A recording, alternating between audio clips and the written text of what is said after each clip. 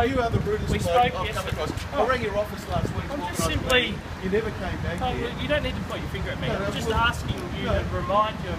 You are the, he, this guy's the biggest Poindexter in Australian politics, and uh, I hope the people of the biggest Poindexter in Australian politics. to make a No, representation. we we rang you last week to organise a meeting. We rang Troy Bell. We sat down with Troy Bell, a very sensible bloke. You've wasted two hours of your time. I think the people of Barker. After immediately I think told me you'd be in the I think the people of Barker expect more than a bloke sitting there blowing up balloons and then waiting for two We hours need while we're actually being. we need a- we're- we need a we're actually forestry being- minister well, who's we're committed actually to jobs. Well, we're actually being productive around here, you and like this to guy take is them- blowing up balloons. No, we're not blowing You up balloons. Make the representation.